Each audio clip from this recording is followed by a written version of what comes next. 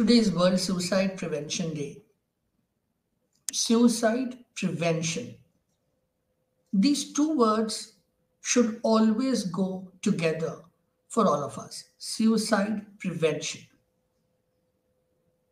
which basically means suicide can be prevented.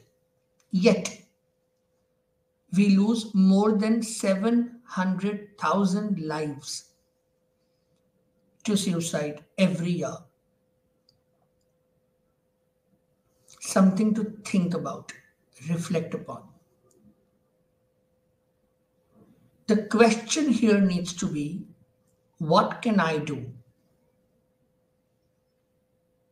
Am I a part of the solution? And once I, as in all of us, collectively realize that yes, I can do something through my action. And collectively, our actions can bring in hope, bring in a solution, and we work towards suicide prevention. And that needs to be our collective goal. Suicide prevention is not just about the experts, medications, therapy, and treatment. Suicide prevention is much deeper. And that's where our collective role becomes so important. So, how about we decide that together we will bring hope and solution through our actions? And these actions are in our control. It's about our collective motivation and responsibility to work towards suicide prevention. What would action stand for, let's say? A, accessibility to help. C, compassionate caring. T, timely intervention. I, inculcate life skills. O, ownership across communities. And N, network of carers. And through this action, we bring hope and we work towards suicide prevention. Accessibility to help. Millions of people suffer in silence because they do not have access to help. They don't know how to reach or whom to reach to. And we need to work towards accessibility and outreach of help. Now, whether it is help through telemental health solutions, help through uh, helplines, but also help through our support systems who are aware about the help they can provide, understand when and how to provide it, so that access becomes an easy aspect for any individual struggling in their lives. That's A for you. Then C, compassionate caring. The genuine compassionate care component of our values cannot be minimized or diluted at any level. Fact of the matter is, compassion towards each other has to be a core human value. So when you see someone struggling with anything in their life, do you feel the empathy? Do you feel the compassion? And then do you do something about it in terms of action?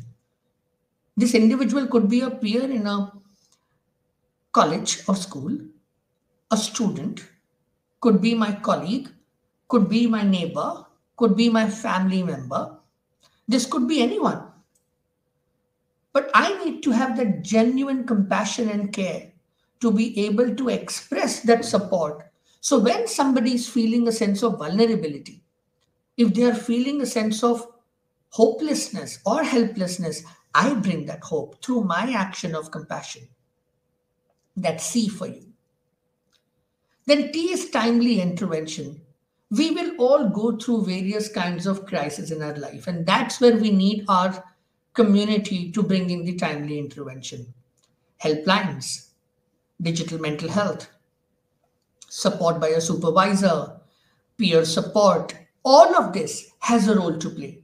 The key is that all of us need to also learn and understand when and how to do this in terms of being aware of the red flags of distress and crisis that can happen to any one of us. In this context, mental health awareness also plays a significant part. For example, depression is strongly correlated with suicide, and that's why it is important that we at least start understanding how to identify depression, how soon to seek help, and encourage help seeking behavior also. That's T for you. Timely intervention, intervention at the right moment. I inculcate life skills. I fundamentally believe that beyond subjects and marks and trophies and certificates and ranks, the core to success for an individual is life skill. Stress is going to happen in our lives, all of our lives. Various kinds of stresses are going to hit us. Life will keep throwing darts at us. How about right from school years? We inculcate life skills. And one of the life skills, besides being resistance, building resilience, social communication skills, coping with stress, problem solving, would also be help seeking. Do not hesitate to seek help.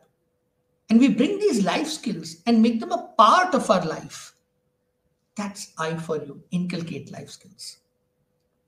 Always ownership across communities, schools, colleges, educational institutes, RWAs, family units, workplaces these are all communities where we can collectively bring in policy change, bringing a change to our narrative, our approach, media houses, entertainment channels. All of these people across all communities have a significant role to play when it comes to suicide prevention. Create the right narrative, bring that positivity, ensure that the stigma is not there. And be positive about extending support and help. And that's o ownership. We take ownership of our actions and collectively work towards suicide prevention. And then comes n network of carers. Carers as healthcare professionals starting from general physicians primary health care anganwadi workers. Yes mental health professionals and I feel digital mental health has a huge role to play in this. Helplines, more and more helplines in more and more languages, and their access, awareness, and availability to the community by and large. Carers in terms of our peers, friends, colleagues. All of us have a role to play.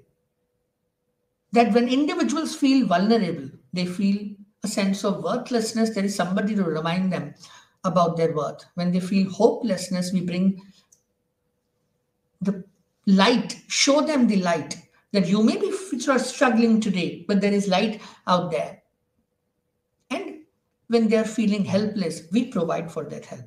We create that positivity in our community that individuals, when they are struggling, struggles may be in terms of relationships, finance, job, various other aspects of our life, the ups and downs.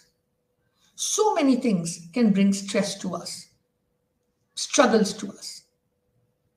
It's the role of the community to be the carer when it comes to helping people in crisis and distress.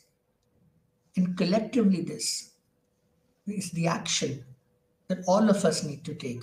Let's take a pledge. We encourage people and ask them to unmute themselves. Don't bottle it up, speak up, reach out for help. But we also take a pledge that everyone in community will unmute our responsibility, unmute our compassion, and through our actions, we bring hope and we work towards suicide prevention.